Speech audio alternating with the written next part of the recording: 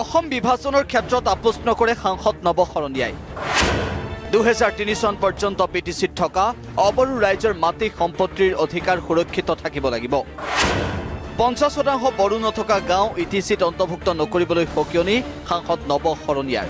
সোমবাৰে গুৱাহাটী আম্বাৰীস্থিত প্ৰেছ ক্লাবত এনেদৰে গুজৰি গুমৰি উঠিল কোকৰাঝাৰ সমষ্টিৰ সাংসদ নৱ কুমাৰ শৰণীয়া। কেইদিনমান পূৰ্বে ম্যানমাৰ এৰি ভাৰত চৰকাৰৰ সৈতে শান্তি আলোচনাত বহিবলৈ প্ৰস্তুত হৈছে N D A B S গোটৰ বি চাওডাংগাই ভাৰত চৰকাৰৰ সৈতে হোৱা এই শান্তি আলোচনাৰ নামত যাতে বি টি চিৰ অবড়োসকল অসুৰক্ষিত নহয় বড়োসকলক সম্পূৰ্ণ সুবিধা প্ৰদান কৰাৰ লগতে অবড়োসকলৰো যাতে সম্পূৰ্ণ অধিকাৰ থাকে তাৰ প্ৰতি দৃষ্টি দিয়ক ভাৰত চৰকাৰে।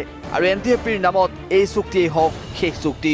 অন্যথা ইয়াৰ পৰিণতি ভয়ংকৰ হোৱাৰ সকিয়নি নৱ শৰণীয়াৰ সংবিজিত গ্ৰুপৰ বি বা- বিদায় বি প্ৰাথমিকে আদি কৰি যিসকলৰ নামত এন আই এ কেছ পৰ্যন্ত আছে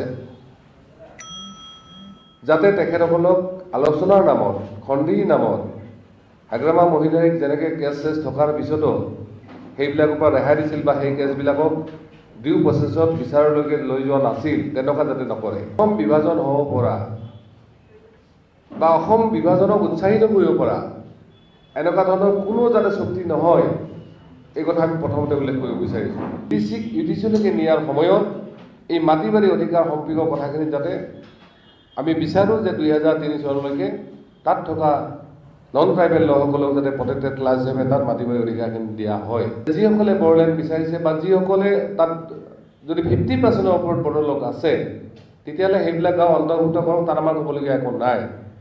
কিন্তু য'ত ট্ৰাইবেল লোক একেবাৰে নাম মাত্ৰ বা নায়ে একেবাৰে সেইবিলাক গাঁও যাতে কোনো কাৰণতে অন্তৰ্ভুক্ত কৰা নহয়। তেওঁলোকৰ লগত আলোচনাৰ নামত আলোচনা কৰি কৰি সময়বিলাক গৈ আছে কিন্তু তেওঁলোকৰ সিদ্ধান্ত হোৱা নাই।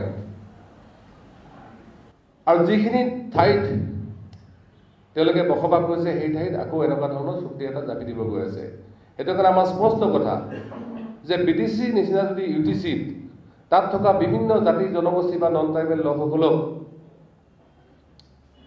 ডিপ্ৰেক্ট কৰা এনেকুৱা কিবা সিদ্ধান্ত হয় তাক কিন্তু আমি সহজভাৱে কেতিয়াও নলওঁ। এইটো কথা আমাৰ ক্লিয়াৰ কথা। নৱশৰণীৰ বিস্ফোৰণ। বি টি চি চৰকাৰ প্ৰশাসনে সংঘটিত কৰিছে কোটিটকীয়া কেলেংকাৰী যাৰ ফলত আত্মহত্যা কৰিব বহু ঠিকাদাৰে। বি টি চি নিৰ্বাচনত এইবাৰ পৰিৱৰ্তন হ'ব আৰু তাৰ ভয়তে বি টি চি নিৰ্বাচন পিছুৱাই আছে চৰকাৰে।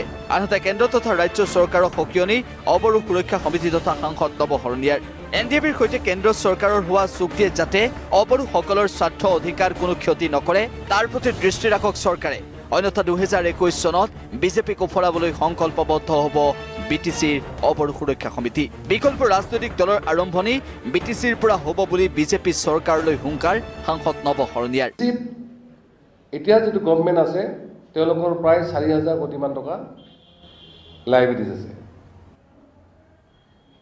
তেওঁলোকে এনেকুৱা কিছুমান কাম কৰিছে য'ত হয়তো অৰ্থনৈতিক তেনেকুৱা ধৰণৰ যিবিলাক ডিচিপ্লিন মেইনটেইন তেওঁলোকে একো কৰা নাই। তাৰ মই জাষ্ট এটা উদাহৰণ দিব বিচাৰিছোঁ। Forty four nos of scheme এইটো টি এছ পিৰ আণ্ডাৰত মানে আজি চাৰি বছৰ আগতে ৱাক অৰ্ডাৰ পৰ্যন্ত দিছিল বি টি চিৰ পৰা।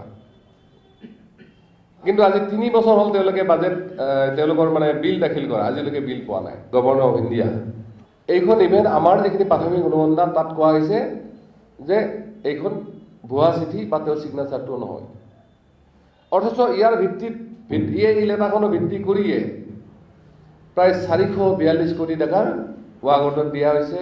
বি টি চি এপ্ৰুভেল দিছে কাম কাজৰ দি কেনে কাম কৰি আছে।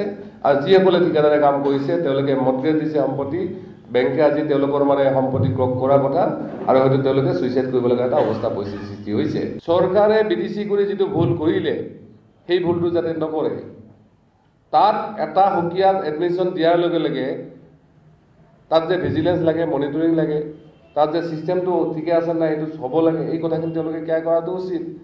আজি তেওঁলোকে ডিষ্ট্ৰিক্টবোৰৰ কথা কৈছে আপোনালোকে বাক্সা চিৰাং কোকৰাঝাৰত চাওক গৈ কেনে তাত আপুনি ডিপাৰ্টমেণ্টৰ হেৰিবিলাকে অফিচে বিচাৰি নাপায় অফিচাৰ বিচাৰি নাপায়। গত ছেক্ৰেটাৰী জইণ্ট ছেক্ৰেটাৰী লেভেলৰ মানুহ দিব লাগে তত মানে কেৰাণী মানুহবিলাক বহাই দিছে তেওঁলোকে। এনেকৈ চলিব নেকি?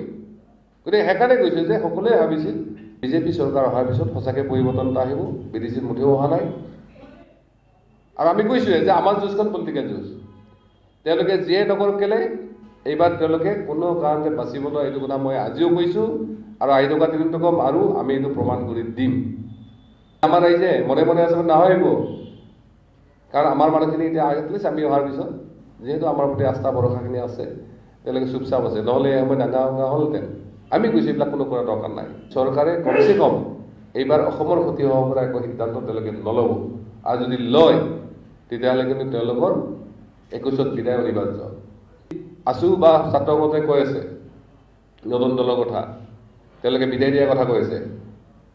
মইতো আজি নিশ্চিতভাৱে কৈছোঁ যে যদিহে তেওঁলোকে বি টি চি ৰাইজৰ লগত এনেকুৱা ধৰণৰ কিবা খেল খেলে তাৰ পৰা আৰম্ভণি হ'ব এতিয়া বহুতৰ মানে হেৰি হৈ আছে ক'ৰ পৰা আৰম্ভণি কৰিব? আমি কৈছোঁ চিৰ পৰা আৰম্ভণি কৰিম ভিডিঅ' জাৰ্নেলিষ্ট ৰাজীৱৰ সৈতে তীৰ্থ বৰা আছাম টক্স গুৱাহাটী।